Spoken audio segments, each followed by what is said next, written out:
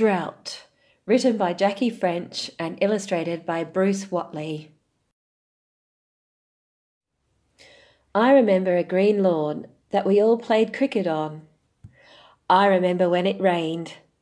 When it was wet, we all complained. I remember when rain stopped, when day by day the water dropped. In our creek and in our tank, hills turned skulls as the grass shrank. Wallabies and black snakes drank, side by side, from water rank.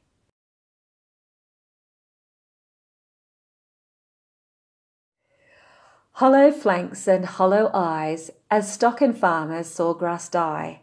Thin ribbed wombats in the sun hunted for the grass that's gone. Sheep that staggered and grew weak till Dad sold them so they could eat.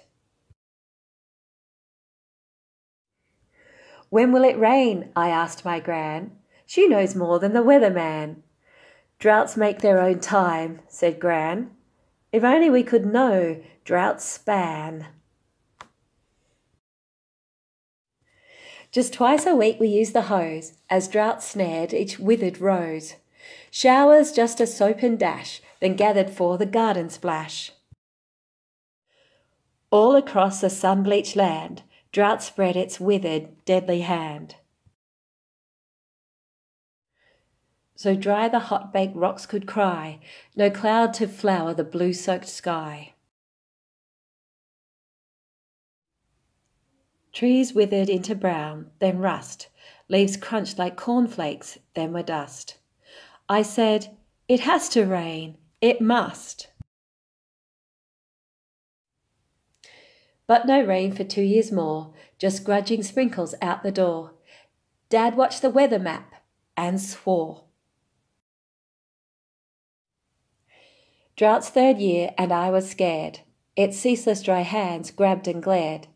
Dad sat among the withered wheat and stared. That was a year that help came, almost as welcome as some rain. Trucks with hay, fruit cakes, and grain. Gifts from all across the nation, a vast book and toy migration. And then another gift at last purple castles, fierce and vast, air a sodden, grey filled blast. Shadows left as air turned grey. Who knew rain could dim the day? Dripping, dropping, ceaseless rain, filling creeks and soil again. Overnight, bare soil grew green, more grass than I had ever dreamed. Tonight we'll dance in mud and laugh. And then at last I'll have a bath.